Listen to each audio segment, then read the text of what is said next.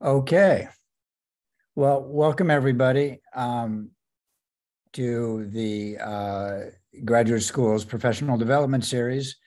Uh, I'm Todd Leff, Associate Dean at the Graduate School, and I'm going to be the moderator today. Um, our speaker is uh, Emily Grekin, who's Associate Professor of Psychology and is uh, is going to be giving the presentation. My job here is going to be to monitor the chat.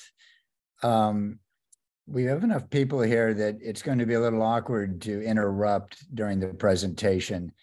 Um, but if you have a question that pops up and you want to make sure it gets answered, put it in the chat. I'll try to monitor the chat as we go along. If it's something that I think should be um, uh, discussed or addressed immediately, I'll interrupt uh, uh, Dr. Grekin.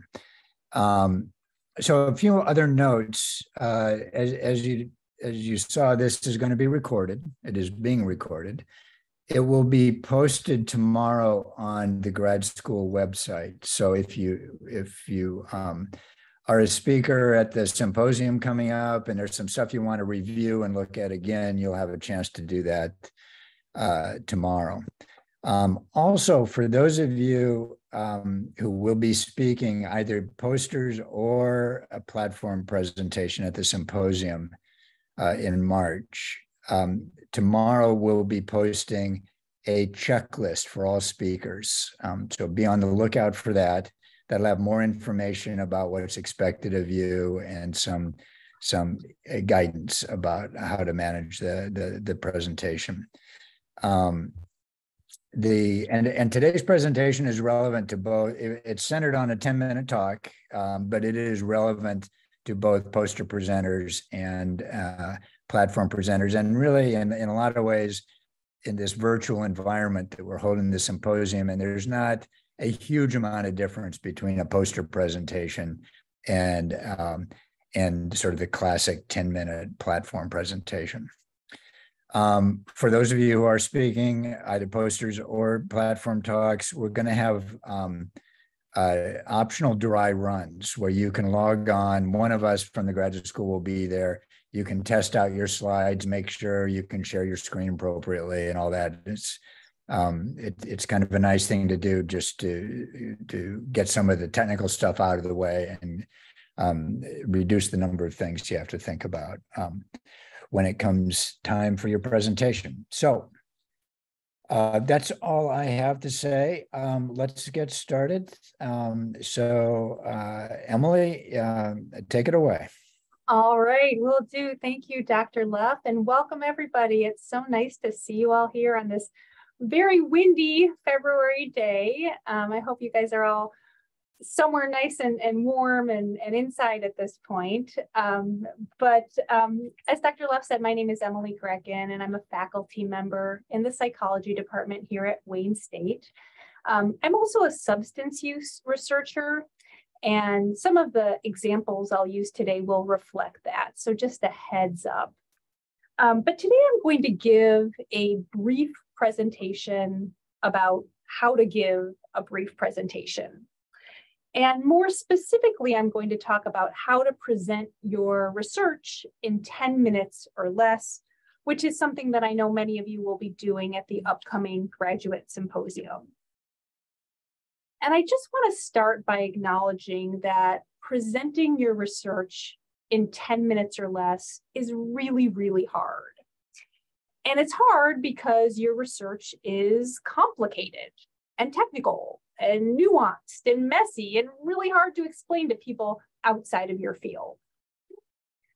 That said, presenting your research succinctly is also a very important skill because most of the time you're asked to talk about your research, you are asked to do so quickly.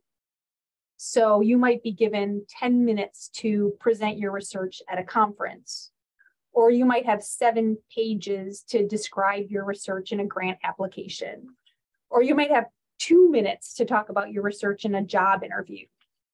So knowing how to present the gist of your research in a way that's succinct, but also meaningful is a really important skill. And that's what we're gonna talk about today. Before I get started, I just want to acknowledge that I drew some of the material for my talk today from a presentation given by the Klein program at Northwestern University. Um, and I've posted a link to that presentation here on the slide. I think um, someone's going to send these slides to you after I'm done today. So you guys are welcome to take a look at the entire presentation if you want. Um, and I also just want to take a minute to thank my former graduate student, Marina Fodor, and my current graduate student, Michael Schmidt, um, because I'm using some of the slides they created for their research presentations as examples in my talk today. Okay. All right, so let's, uh, let's dive right in. Um, I want to start today by talking about how to structure the introduction to your talk. And then a little later, I'll switch gears and talk about how to present your methods and your results and your conclusions. Okay, but let's start with the introduction. Most effective introductions follow a basic pattern. First, you give some background information about your research topic.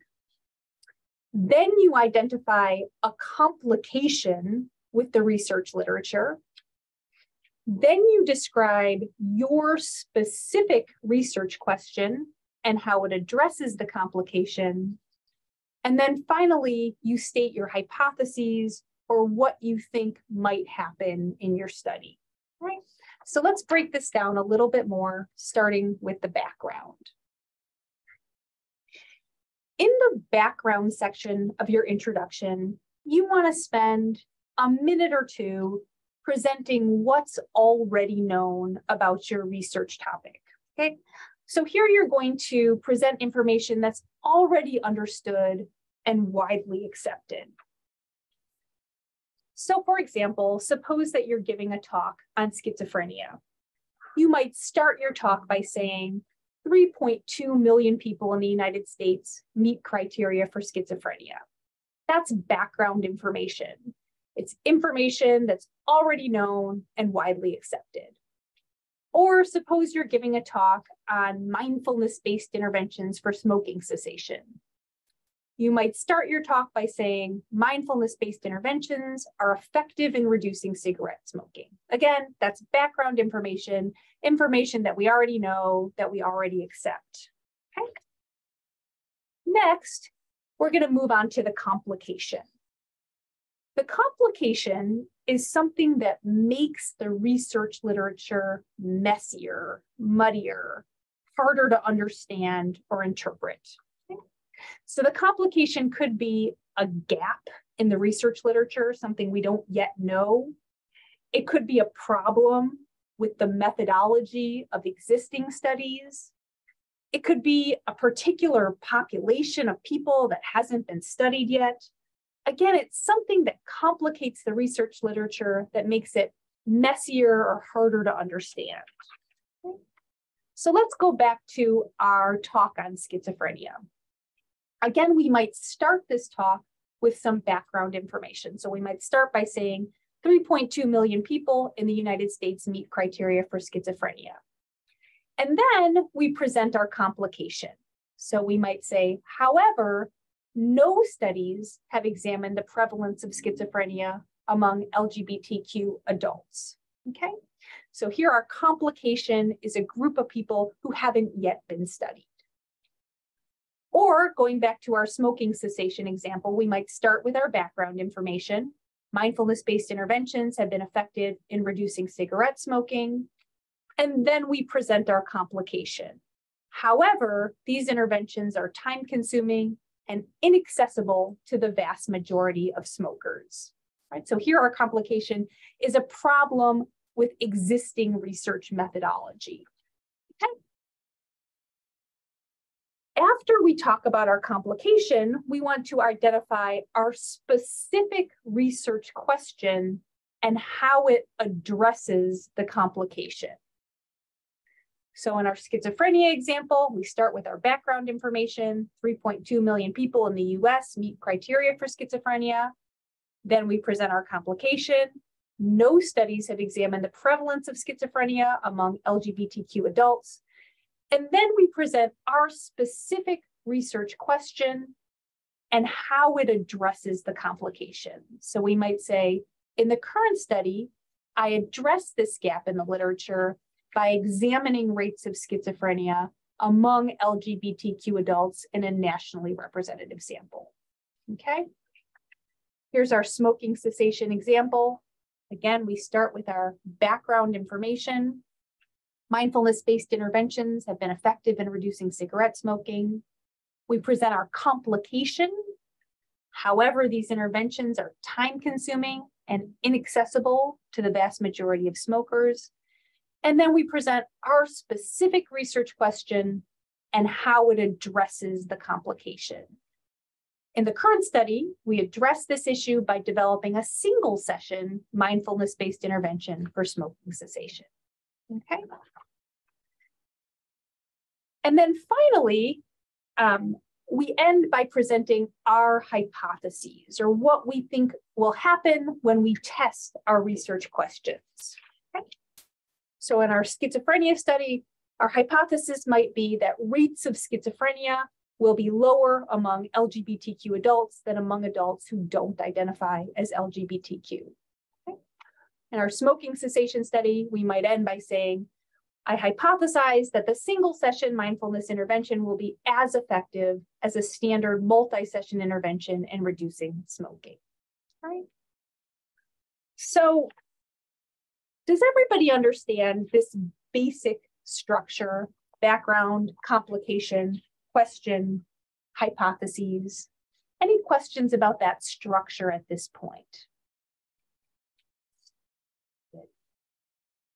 All right. In a 10 minute presentation, you want to spend two to three minutes on your introduction. And that means that you're going to need to trim down your often very complicated project into just a few bullet points. So let me give you a slightly more fleshed out example of this. I'm going to show you some slides that were drawn from a dissertation presentation given by one of my former graduate students, Marina Fodor. And Marina's dissertation examined the simultaneous use of alcohol and prescription opioid medications. So we know that lots and lots of people use prescription opioids, drugs like Vicodin and OxyContin and Codeine. We also know that it's dangerous to combine prescription opioids with alcohol. That said, very few studies have examined the combined use or the simultaneous use of alcohol and prescription opioids. And that's what Marina wanted to look at in her dissertation. Okay.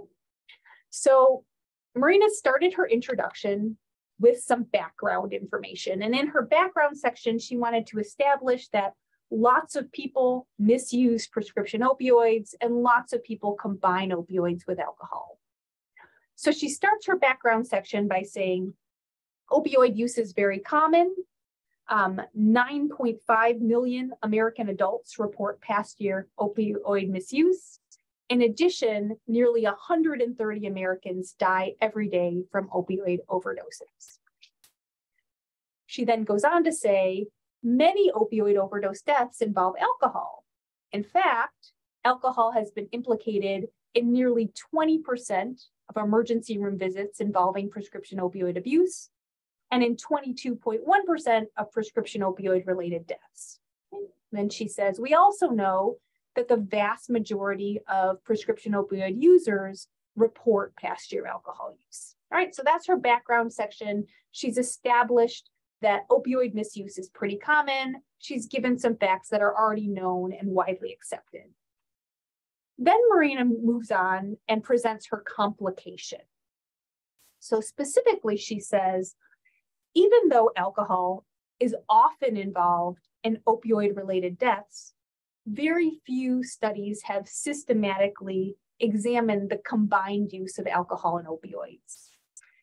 In addition, the few studies that have examined combined alcohol and opioid use generally ask participants whether they've used both substances over a certain period of time. So, for example, over the past year, but they don't ask whether people have used those substances together or at the same time. Finally, no research has examined predictors of simultaneous alcohol and prescription opioid use. So at this point, we don't know who's most likely to combine their prescription opioid medications with alcohol. All right, so that's Marina's complication. She's established that there are some gaps in the literature. Then she moves on and presents her specific research question and how it addresses the complication. So she says, um, in my study, I address these gaps in the literature by examining associations between simultaneous alcohol and prescription opioid use and three categories of potential predictors borderline and antisocial personality disorders, the personality traits of conscientiousness, agreeableness, and neuroticism, and executive functioning, especially disinhibility or disinhibition and cognitive flexibility. All right, so that's her specific research question. And then she ends her introduction by presenting her hypotheses. So she says, um, I hypothesize that the likelihood of same day alcohol prescription opioid use will be predicted by a higher number of borderline and antisocial personality disorder symptoms, by higher levels of neuroticism, lower levels of agreeableness, and lower levels of conscientiousness, and by lower inhibition and cognitive flexibility. Okay, so that's Marina's introduction. That whole thing took maybe three minutes, two to three minutes to present and followed that same basic structure that I outlined at the beginning of the talk. Background, complication, research question, hypotheses. Okay, questions, comments so far? Nothing, nothing in the chat so far. All right, okay, sounds good. All right, so we've talked about how to present the introduction to your talk. Let's move on now and talk about how to present your methods. In a 10 minute talk, I would recommend that you limit your method section to one or two slides. That's not always possible, but often it is. When you make your method slides, it's often helpful to organize each component of your method section under a short heading or category. So here's an example. You can see that I have three headings on this method slide. Participants, measures, and procedures. And next to each heading, I give relevant details. So if I were to present this method slide, I might say something like this. The participants in my study were 150 adults recruited through Amazon's Mechanical Turk. In order to be eligible for the study, participants had to report using both alcohol and prescription opioid medications more than two times per month. The measures I used in my study were the Big Five personality trait inventory to assess neuroticism, agreeableness, and conscientiousness, the DSM screening measure to assess symptoms of borderline and antisocial personality disorders, and three executive functioning measures, the trail making test, the Stroop color word test, and the Wisconsin card sort test. After providing consent, all of my participants completed a timeline follow back interview to assess past 60 day alcohol and prescription opioid use. And this is an interview in which participants are given a, cal a calendar and various memory aids to help them remember whether or not they used alcohol and opioids each day for the past 60 days. After completing that interview, my participants completed the measures of personality traits and personality disorders I mentioned a minute ago.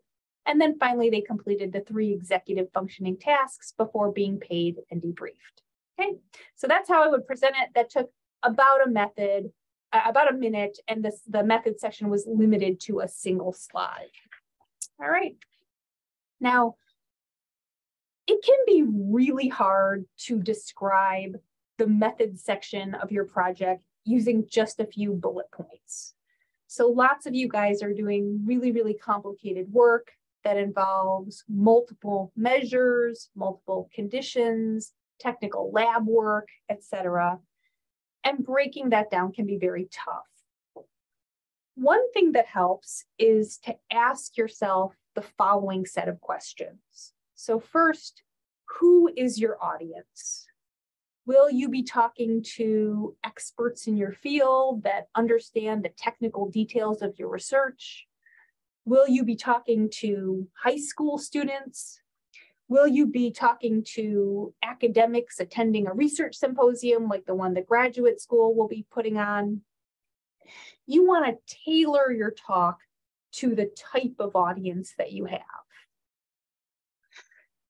For your method section in particular, it's important to ask what your audience does and does not need to know, okay? So if you're giving a talk to a general audience, they need to know things like who your participants are, what kind of tasks your participants engaged in. So, what did they actually do when they started your study? What your different experimental conditions were. Okay, they need to know those things.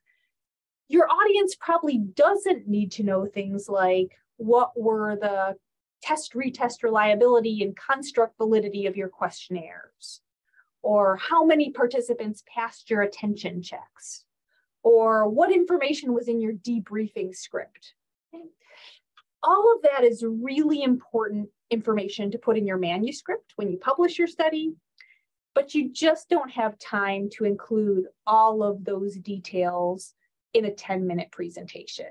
Okay. Um, does that make sense to everybody? Any questions? Okay. All right. Um, after your methods section, you want to present your results. And in a 10 minute talk, I would recommend trying to keep your results section to three or maybe four slides. Again, the key is to keep it simple. In a 10 minute talk, you may not have time to present all of your findings. You may need to pick and choose certain important findings to present. Um, that's hard it's painful to have findings that you don't present, but you probably won't have time to talk about everything you found if you've done a big study or a longitudinal study. Okay. Um, you should try to present your results in a way such that they map directly onto the research questions and hypotheses that you presented in your introduction. So here's an example. This is from the smoking cessation study that I talked about earlier.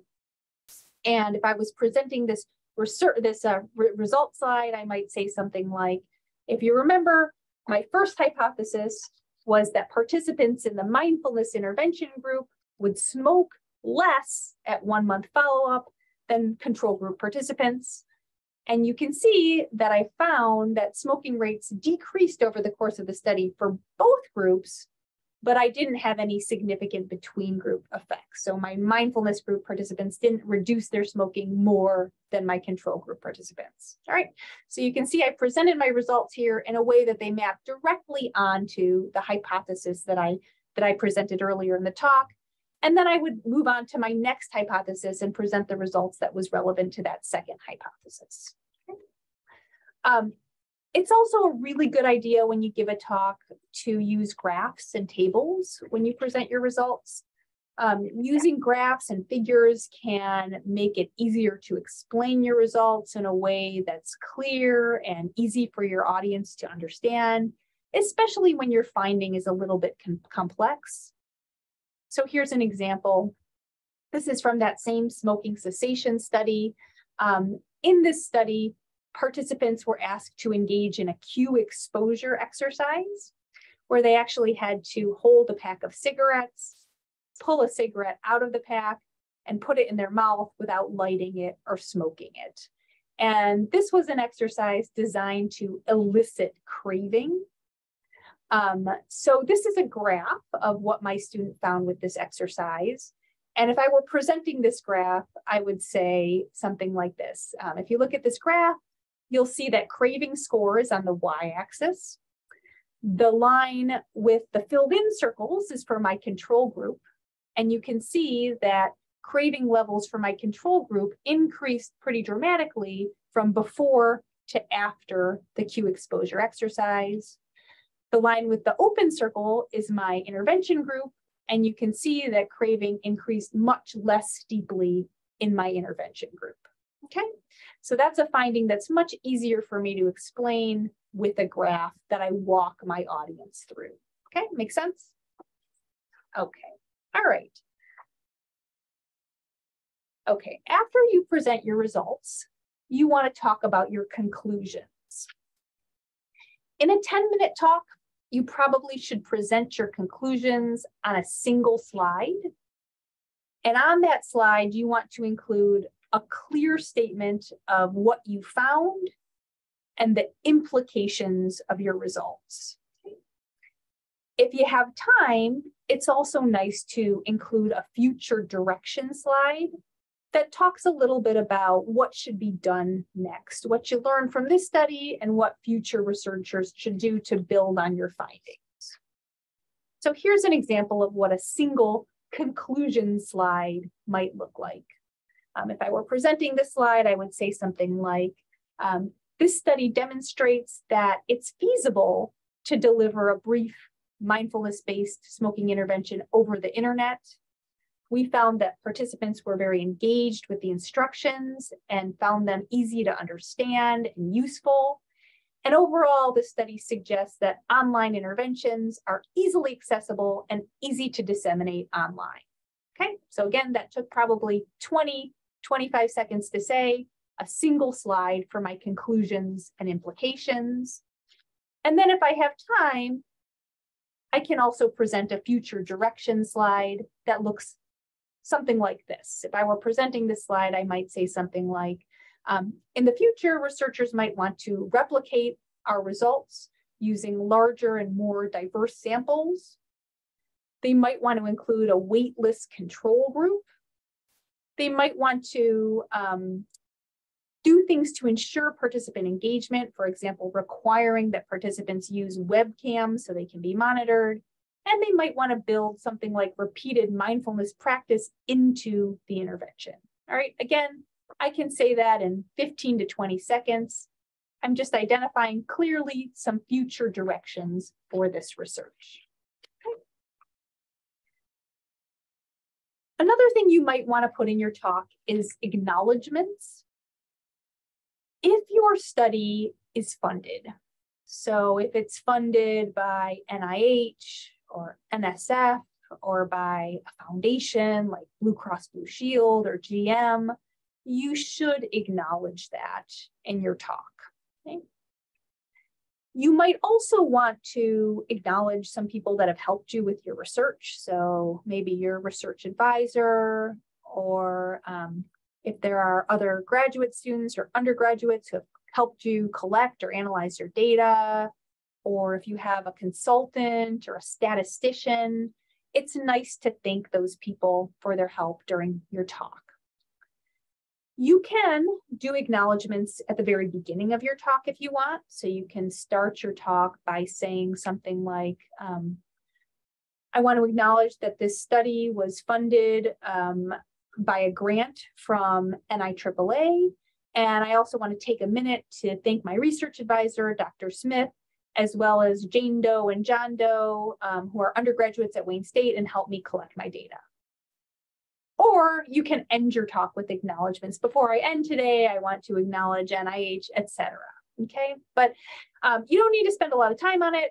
10 seconds, but it's it's important to do, especially if your study is, funded. That's something that you, you should have a slide for and you should do. Okay. All right. Any questions so far? Are we still good? Okay. Okay. All right. Then I want to end today by just saying a word or two about presentation style. Um, it can be hard to give a talk at a conference, especially when you are one of many talks, which is something that happens at the graduate symposium. Um, I think especially when you're over Zoom and it's sort of hard to see people and connect with people.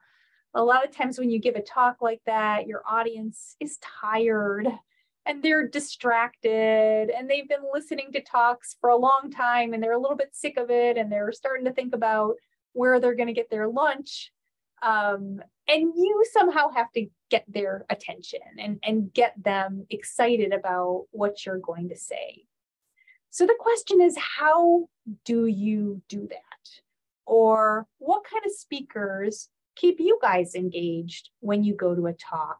Anybody have any ideas? Anyone want to jot anything in the chat? Let's see.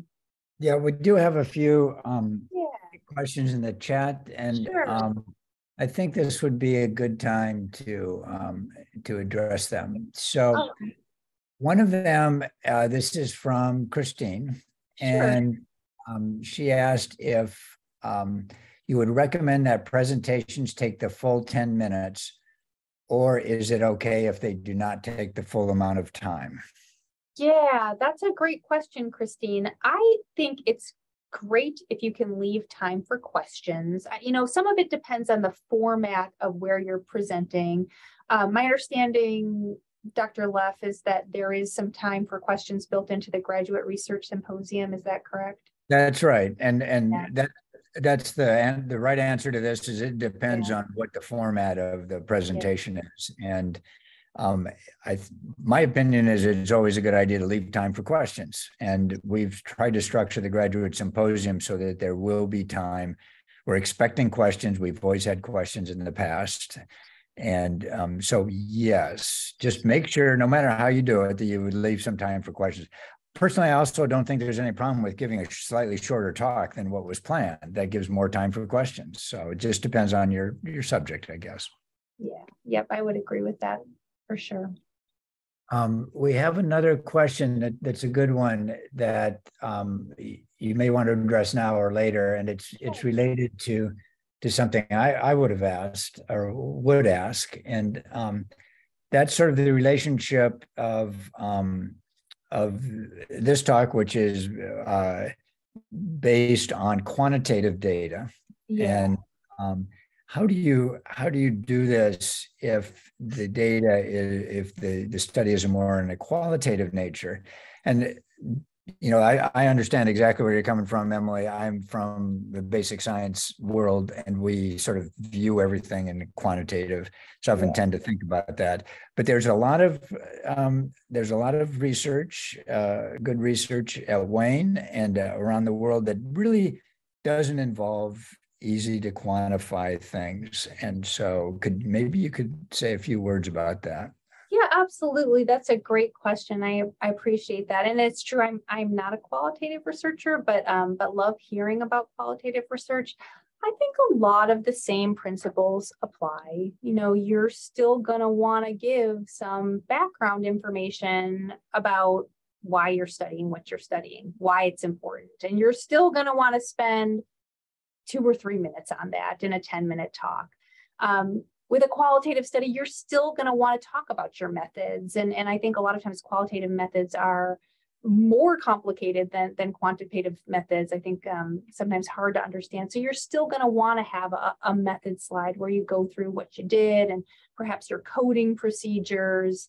Um, you know, in terms of your results, it might differ a little bit between qualitative and quantitative research. Um, it might be harder to to and give the kind of a figure that I gave today, but I still think it's worth trying to present your results in some kind of a, a graphical or, or, figure form, um, even if it looks a little bit different than than the one I presented. Um, and I still think that you will come to a set of conclusions and implications from your work even if they are not as quantitatively based um, as what I presented today. So I think the same structure can apply very well to a, to a qualitative talk as, as to a quantitative talk. Um, and certainly the, the presentation style I think can, can apply as well. But but yeah, you're right. There's a lot of sort of less quantitative research. And and this talk, I think just because of my own research was geared a little bit more to the to the quantitative side. So I, I appreciate that question. Yeah, I just add to that that uh, based on um, now several years of graduate research symposia that I've attended and participated in, some of the most effective talks, the, the talks that I've seen where I actually remember for for for months afterwards what the message was and what what the point of the research was were were very descriptive qualitative talks on you know like language acquisition or things that are not not quantitative. There are no numbers involved. They're just observations and a conclusion. And I think that's another thing and this is Dr. Grekin mentioned this every no matter what it is quantitative or qualitative, there was a question asked at the beginning and there's a conclusion at the end. And those things still allow the listener to come away with a very clear idea of what you did and why it's important. Sorry to, to horn in on that. No, no, no, that's okay. That that makes sense. Does that and, and I hope that answers the question. I'm happy to talk more later if it doesn't. Um, let's see if we have some other uh, talk a bit more about the poster presentation. So I will do that. Let's let's make sure we we get all the questions asked answered about sort of structure of talks in general first, and then I can uh, talk a little bit more about this um, the the way we've restructured the two kinds of talks at the at the graduate research symposium. Um, here's another question in the chat. My this is from Victor my question does not appear to align with your presentation, but it is on research. Please, what is the best way? What is the best way uh, that one can read or scan through an article to be reviewed? Victor, maybe you can expand on that a little bit, um, if you don't mind unmuting yourself and um, coming online.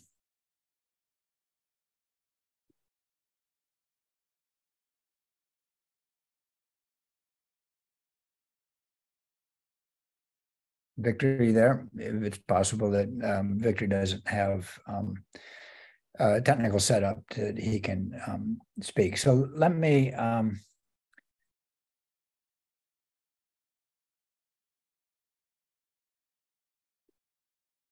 um, I'm not sure how to answer your question, Victor. Emily, do you have any thoughts? Um, can you read it one more time? What's the best way to scan a research article? Was that the question? Yeah. What is the best way one can read or scan through an article to be reviewed? Um, and I assume you mean to be reviewed and then presented in the, in the context of something like what we're talking about here, where maybe this would be more not a research presentation, but a journal club, but still a presentation. Um, is that is that along the lines of what you're thinking about, Victor? Yes, you can. Uh, you can. You can speak, Victor. You have to unmute yourself, which looks like you are. Go ahead and speak. Hello, good to you, Prof, and my fellow colleagues. I am asking to have a clearer view of how best one can scan through an article to be reviewed in a paper, such as writing a theoretical paper in my field, we basically go by experimental research.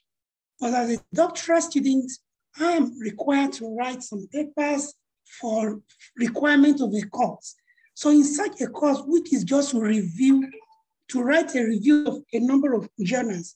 So how best? Do I need to read the paper from Genesis to Revelation or just to work on the abstract findings and conclusions? Thank you. That's a that's a great question, Victor. I think it's one that a lot of us have struggled with when we're trying to, you know, compile literature and, and write theoretical reviews or meta-analyses. Um, and I think it's impossible to, you know, if you've got 100 or 150 papers to read through all of them. So my suggestion is to have a really good organizational system up front. Um, I think it's great to start with abstracts and sort of sort the papers into different categories. Um, you have to do some reading, but but I think that once you sort of have a hierarchy of articles and you're able to, you know, have in your mind some main things that you want to be paying attention to. So some research questions or some themes that you're organizing your articles around. I think it's it's easier to sort of pick and choose the ones you have to focus on more and the ones you have to focus on less. um, and which ones you can kind of scan through to see if it aligns with or supports certain themes. Um, but that's how I start by, by sort of doing a search, by reading through abstracts and by really organizing different papers according to different hypotheses, different research questions, different themes. Um, and then I, I, sort of have more of a roadmap about how to approach that very large body of literature. Thank you. Yeah. Yeah, it's a good question, Victor. It, it is a little peripheral to what we're talking about today, but but crucial to um, to how we do research and absorb knowledge in, in our fields. My response to your question would be: it depends a huge amount on on your your starting point in terms of that field. Is it a field you're very familiar with? You know, in my own field of research, I can read a paper really quickly and just look at a couple of figures in the abstract and the title, and I'm done and in a field I'm not familiar with, I read it in detail from beginning to end to try to absorb everything. So that's another consideration um, for that. Okay, we have another question. Um, is there a format that works best for the platform we are presenting for the GRS um, symposium? PowerPoint slide, Google Slides, right. I don't know what Prezi is, uh, uh, presumably another presentation software. Um, this is a good question. Um, and I don't know, uh, maybe Emily, I can respond to this. Uh, it does not matter. We can, in terms of the technology, pretty much anything that you can put on your computer screen, we can, will, will, is what the audience will see. I would make your choice based on, um, on what you're comfortable with and what you're used to. Um, on the day of a presentation, you don't want to be fooling around with some software that you're not familiar with and um, and not comfortable with. I would recommend um, one of the standard things. Um, you know, PowerPoint's kind of the ultimate thing, or if you're an Apple user, Keynote's great. And um, uh, I, I just always be more comfortable with things that are widely used. Um, but ba- the basic answer to your question is it's what you're used to, and there are no technical restrictions for anything that you're presenting. Um, a lot of people, I teach a class where the students all give 10 minute presentations, and many of them give it from um, an Adobe Acrobat presenter, which is not a standard presentation software, and it works, it works pretty well. They don't see presenter notes for example. So that would be another consideration. The, the software like PowerPoint allows you to project the um, just your slide to the audience, but for you to be able to see the notes that you've made, and there's a format for showing the notes underneath the slide that can be an aid as you're presenting. So um, that's not a very specific question, but hopefully that's some information that you can sort through and um, and and pick out what you need. Uh, let's see, that was Christine. Is that answer your question, Christine? Oh, yep, you responded in the text. Okay. Other questions?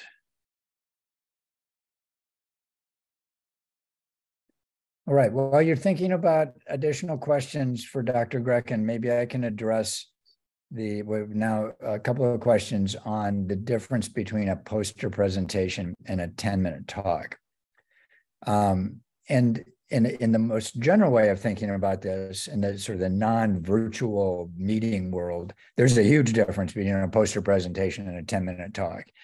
And um, I think everybody can sort of envision what that is, even if you've never given a poster or a talk. In one case, you're standing up in front of face to face with people and you're you have your data next to you and you're walking people through in a very manual way through your your presentation um, and the, the, visual aspects are totally different because you're standing in front of a printed version of your um, uh, of of your data of your presentation, and um, unfortunately, since the since COVID, we've been doing this symposium virtually, and some of the differences between a poster presentation and a 10 minute talk have evaporated a little bit or become blurred because there there is no virtual equivalent to standing in front of a six by eight poster with all your data on it.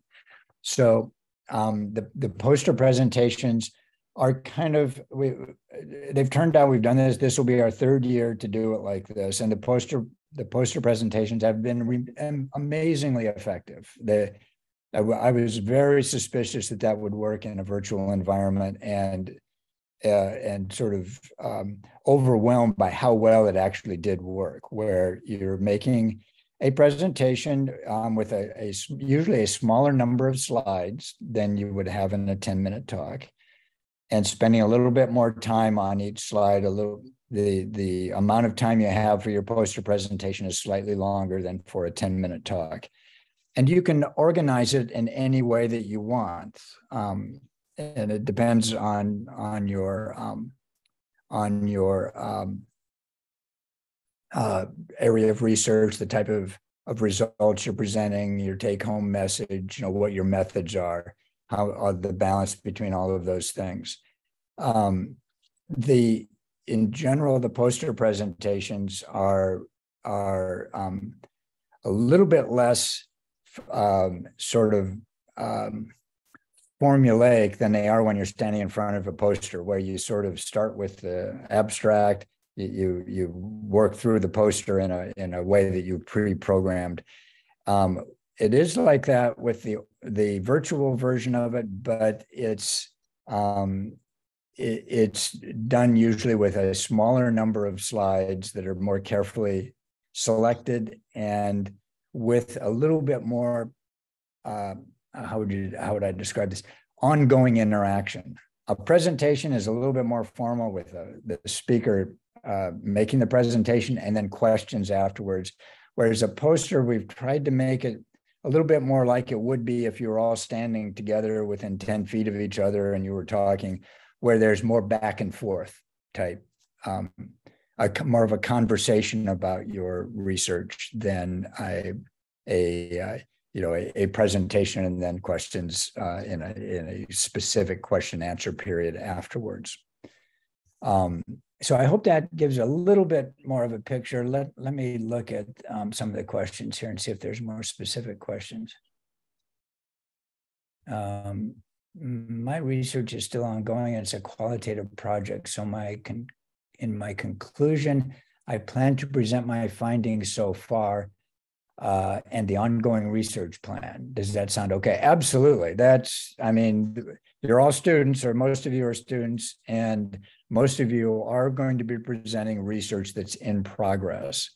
And you know, the whole point of the symposium is for all of us to be exposed to all of the research that's going on here.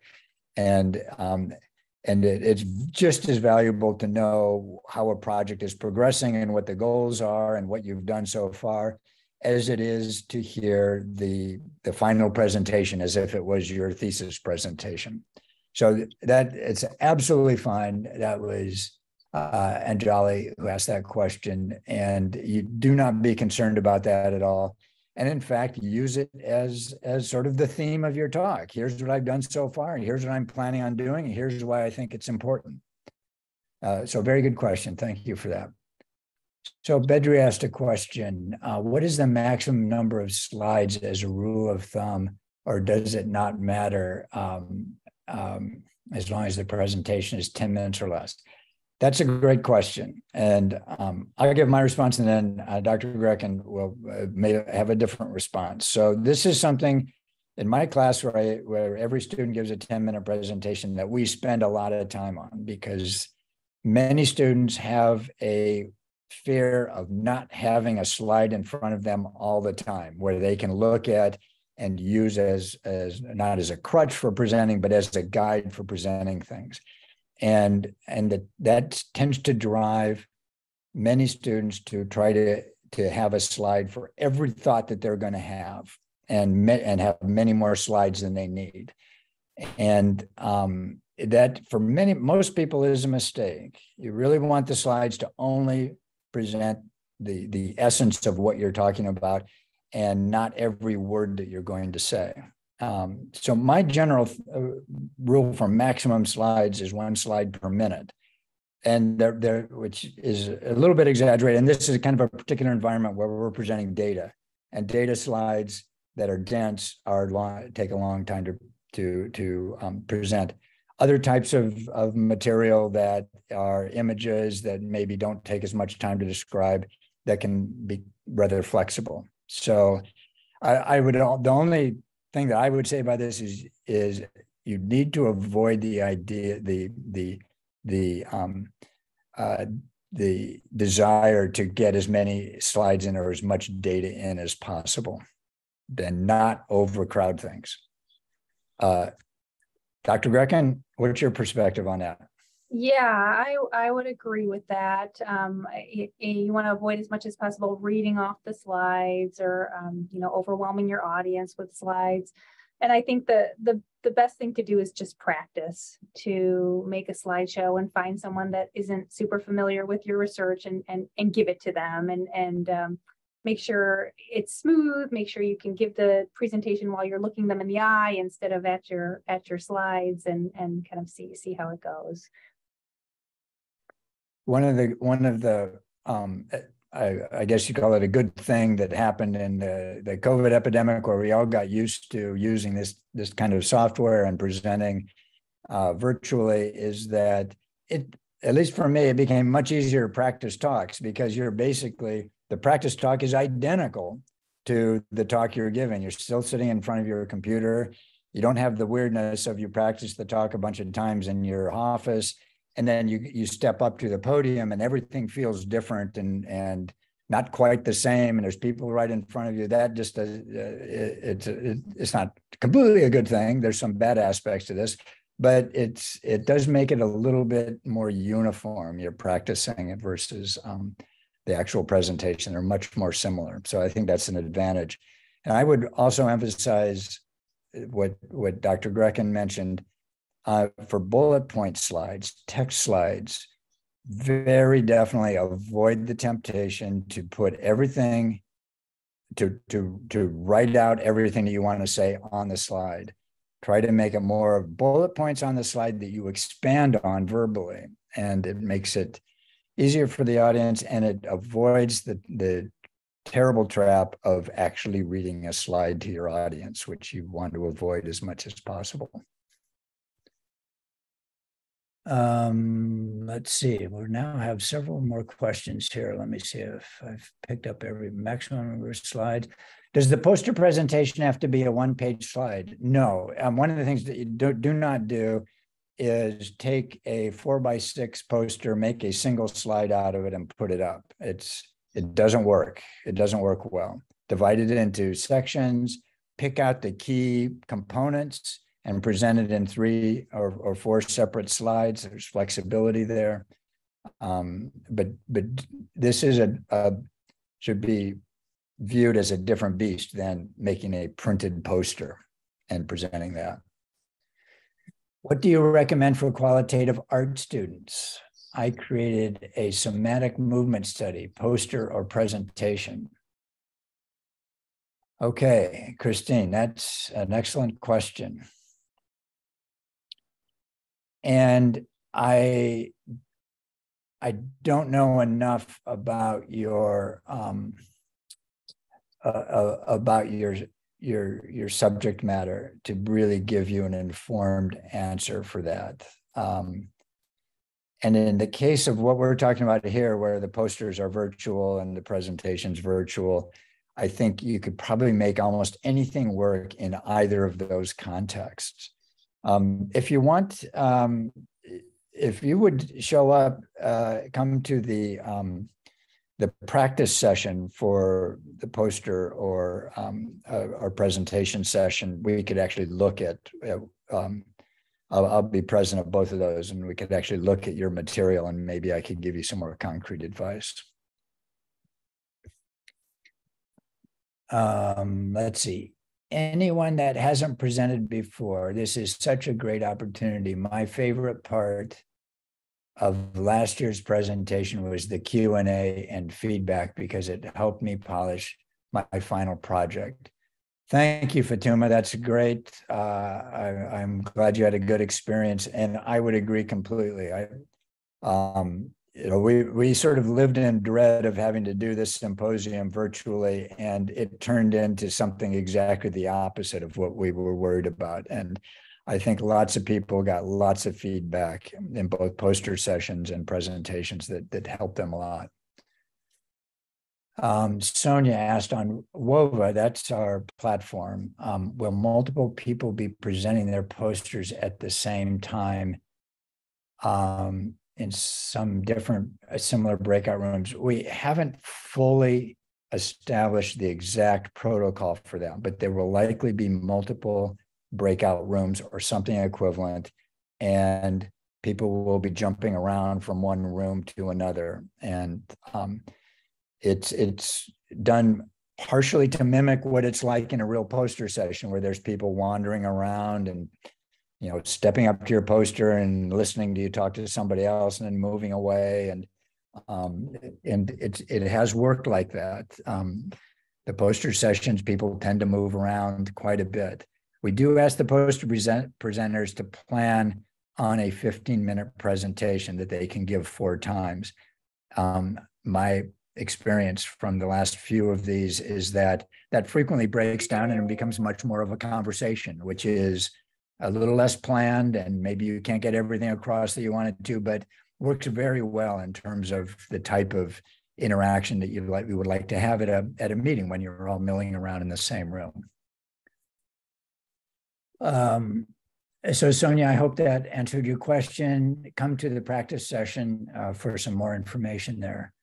Robert uh, says, My research is not necessarily qualitative or quantitative, but more so about how to make use of the material developed, oral history interviews. I feel it's more exploratory rather than presenting results. Is this okay? Yes, that is okay. Absolutely. Whatever your research project is, the point of the symposium is to tell people about it and and display your enthusiasm for what you're doing and and educate them on why what you're doing is important. It really doesn't matter what it is. I hope that answers your question robert. I'm looking forward to to um, to to um, actually seeing what you have to say or hearing what you have to say will the poster also be for 10 minutes? That's solomon. It will be i believe it's slated for 12 minutes for for you know the poster goes for one hour you're there and um and uh, this is related to the uh, my response to an earlier question. The posters tend to to evolve frequently into more of conversations about things but you should plan for a a 10 to 15 minute presentation where if nobody's asking any questions you can get through all your material and get your, your main points across in that length of time. What are the specific differences should be the, um, what specific difference should the poster be from a talk? I think we've, we've, we've touched on that. Um, that's Solomon. If you have additional questions, feel free to email me afterwards about the poster, the presentation. Okay. Will the posters be virtual? Yes, the posters are, everything's virtual. Next year, we are going to do a, at least a mixture, but this year, everything is virtual. Um, one of the reasons it's not mixed is because we haven't figured out a good way to do that yet. And it, it, from all of our experiences in lecture lecture hall, where we're trying to do a mixed thing, where there's some people online and some people uh, in person has not, in my experience for sure, has not been very satisfying. And so um, we're waiting for um, some insight into how to do that properly. Well, thank you, Reagan. That's very nice of you to say. Reagan, I liked the presentation. Emily? Thank you. Okay, I don't see any other questions um, and we're out of time. Um, so you will be able to see this presentation, the recording of this presentation tomorrow. Um, we will be sending out um, information, more information to speakers and post presenters and speakers tomorrow. So look for that. And as usual, feel free to email any of us on these the symposium committee if you have questions. And I'm sure Dr. Grekin would be um, would be happy to answer questions. Um, if you have additional questions, you can contact her. Absolutely. Good luck, everybody. And thanks so much for coming today. Good luck. Bye bye. We'll see you all soon.